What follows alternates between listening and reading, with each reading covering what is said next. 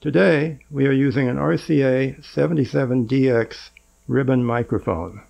This is a classic 1950s microphone used for motion picture and studio work and still used in recording studios.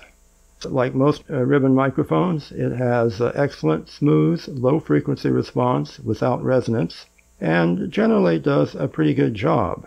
However, toward the end of the 1950s, ribbon microphones were largely replaced with condenser microphones, which are smaller, lighter, cheaper. Nevertheless, many people feel that, at least for some purposes, including vocals, ribbon microphones are still the best choice.